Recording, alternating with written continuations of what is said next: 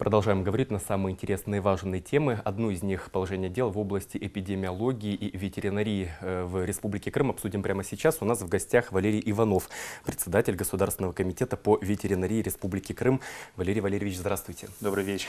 Валерий Валерьевич, ну, в общих чертах на текущий э, момент, на июль 2015 года, как можно характеризовать вот это самое положение дел в области эпидемиологии и ветеринарии здесь на полуострове?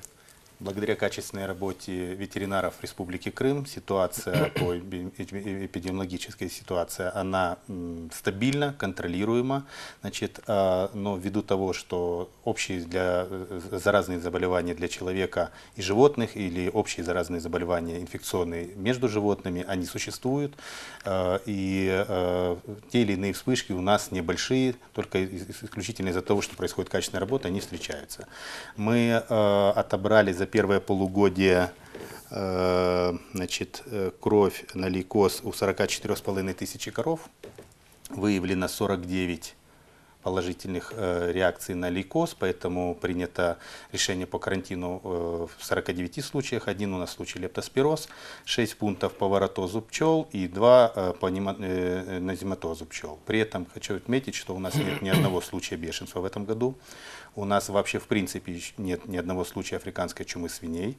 Это очень опасное заболевание, оно очень сильно экономически бьет, в том числе не только по гражданину, но и государству в целом, потому что необходимо бескровным способом будет убить всех свиней, значит, и сжечь их, она не допускается в пищу. Одно отмечу, что человек не болеет этой болезнью, но она очень э, опасна и очень длительное время запрещается разводить на этой местности свиней. Но статистика, она, если сравнивать, допустим, с аналогичным положением дел в прош прошлом году, она хуже У нас или вообще лучше? как бы африканской чумы не было и нет, и надеемся не будет. А, достаточно большое количество вспышек на Украине и достаточно много вспышек и на территории материковой Российской Федерации. Хотелось бы отметить, что нет ни одной вспышки, еще раз подчеркну, бешенства но за этот год мы оздоровили три пункта, которые у нас перешли с 2014 года. Мне хотелось бы отметить и обратиться к крымчанам, чтобы это не усыпило бдительность, что своих животных, э, собак, кошек э, необходимо привить. Мы это делаем, э, ну, как бы бесплатно вакцины это делаем. Значит, это можно сделать там более комплексной, дорогой вакцины, это в частных клиниках, но в службе государственного ветеринарного контроля, нашей службе, 20 наших предприятиях по Крыму, это ну, вакцина э, колется бесплатно. Может там стоить будет шприц, там, э, спирт, но это э, буквально там рубль, копеечные деньги. Э, если пропустить принцип вакцинации, то мы в ближайшее время можем опять получить э, нехорошую ситуацию по бешенству. Сказать, что наша территория полностью благополучна пока нельзя, потому что не прошло достаточное количество времени, а проблема Крыма заключается в том, что э, бешенство ушло в дикую природу.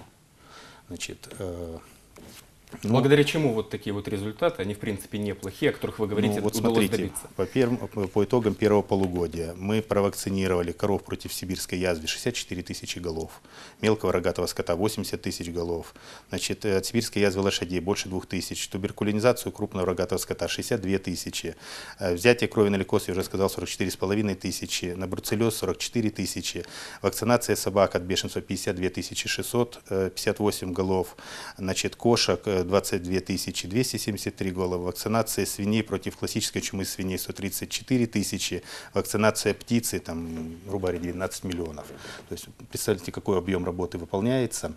Почему на Украине, вот условно говоря, вы проводили параллели, ситуация хуже, а у нас лучше? Может быть, потому что у нас голов меньше и проще, так сказать, Нет, промониторить э, ситуацию? Вопрос в качестве работы, вопрос в отношении государства к этому процессу. Если Российская Федерация полностью обеспечивает необходимое количество вакцин для вакцинации поголовья, нам известного, потому что существуют случаи, когда предприниматели, там, крестьяне, там, или крестьян пытаются, пытаются укрывать поголовье.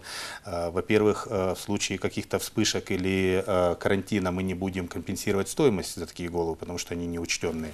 Во-вторых, э, надо понимать, что это может быть злом, который принесется своим соседям, соседям по двору, соседям по улице, соседу по селу и так далее.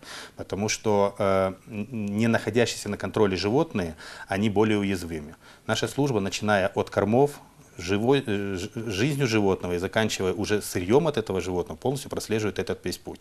И если человек, э, как инвалид, он приспосабливается к э, жизни в обществе, то животный мир, особенно используемый в коммерческих целях, и тут ва- важен процесс продуктивности. Поэтому здоровье животного – это очень важный вопрос. Вы сказали о том, что собственникам вот этого скота компенсации какие-то выделяются. Кто Нет, и не- рассчитывает? Не, будет никаких компенсаций, если такие животные будут инфицированы, мы их выявим и объявим карантин. А в каких случаях эта компенсация определяется? Существуют законом предусмотренные случаи, как бы, когда происходят массовые какие-то моменты, чтобы для людей не было Потери. потерь, конечно, компенсируется стоимость тех животных, которые изымаются. Вы сказали о том, что когда речь идет о мониторинге крупного рогатого скота, использовали такую фразу, как э, карантин. А вот Да. когда о пчелах, вы о них То тоже же самое сказали, карантин, как конечно. пчелу поймать и поместить в карантин? Нет, она не помещается в карантин, она помещается на определенную территорию, с которой она не может до другой семьи долететь, то есть изолированная территория, с которой она не передвигается до тех пор, пока мы не, не оздоровим как бы, эту пасеку.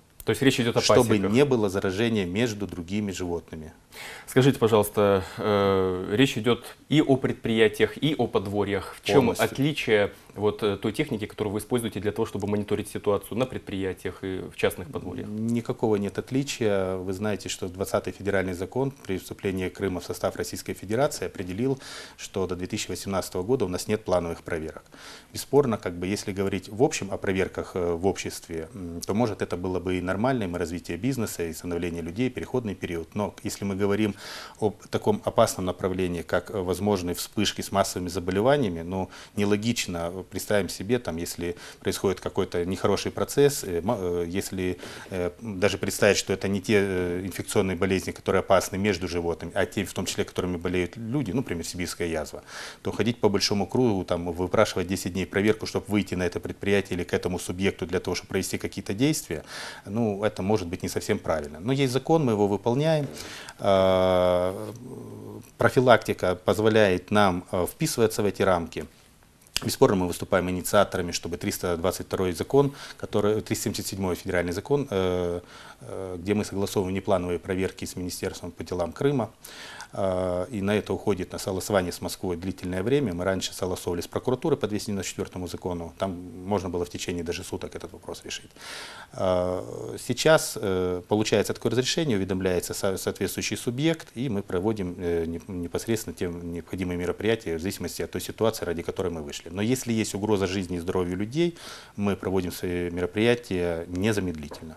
Что касается стихийных рынков, которые располагаются, может быть, не вполне законно, но, так сказать, э, ну, удовлетворяя потребности э, многих жильцов, там, жителей жилых массивов Симферополя, отдаленных от каких-то центральных рынков, как там Это- контролируется вот эта Это ветеринарная пс- ситуация? Это псевдоудовлетворение. Это псевдоудовлетворение. Мы сегодня имеем 82 законных рынка, на которых находятся ветеринарно-санитарные лаборатории. Э, Продукция, которая э, находится на рынке, полностью вся, э, я имею в виду продовольственная продукция, она проверяется и выдается соответствующее заключение на конкретную продукцию на конкретную партию. То, что находится за пределами рынка. Вот представьте себе ситуацию. Вы слышали, чтобы кто-то уничтожил там тонну арбузов, там полтонны помидор, там или еще какие-то вопросы, где э, избыточное количество там нитратов и так далее. Куда-то потом эта продукция девается. Человек, когда понимает, что она у него некачественная, он где-то это продает, делается псевдорынок где людям рассказывают, что это свое, это дешевле, это невозможно продать на рынке. Находятся и бабушки, травят которые наших людей. рассказывают о том, что это Ну, сделано домашней грядочкой. Ну, это все, это, это все хорошо, но может все очень плохо закончиться. Поэтому здоровье должно быть на первом месте. Особенно, когда такие вещи происходят прямо возле рынка. Это недопустимо. Здесь два пути решения. Создание дополнительных каких-то прилавков. Если это человек со своим ведром, мы понимаем, что из тех людей, которые сегодня стоят на полу, ну, большая часть тех, кто пришел с привоза. И, и сами они ничего не вырастили. Особо ужасным является, если это там рыба чистится прямо на земле и так далее. Хотел бы отметить, что на территориях рынка мы проверяем всю подконтрольную продукцию растительного, животного происхождения и так далее. Но если это стихийный рынок, то мы ограничены только проверкой продукции животного происхождения. Поэтому все э, нитратные продукты, все там какие-то другие э, э, в растительных продукции, мы не можем этого сделать как бы э, ввиду определенного ограничения. Спасибо большое, Валерий Валерьевич, за ваш компетентный комментарий. Удачи в работе. Я хотел бы, пользуясь секундой времени, если есть, обратиться к крымчанам. Уважаемые предприниматели, уважаемые крымчане, все, кто пользуется, кто разводит свиней, кто знает э, своих друзей, кто разводит свиней, прошу вас, используя продукты питания из общепита, проводите кипячение. Это позволит сохранить и дальше наш Крым от вспышек э, африка- африканской чумы свиней и сделает вашу жизнь, вашу продукцию, ваших свиней безопасными как для, для себя, так и для окружающих, и для Крыма в целом. Спасибо за вашу работу. Удачи. Ну а мы не прощаемся с вами, продолжаем следить за развитием событий на полуострове.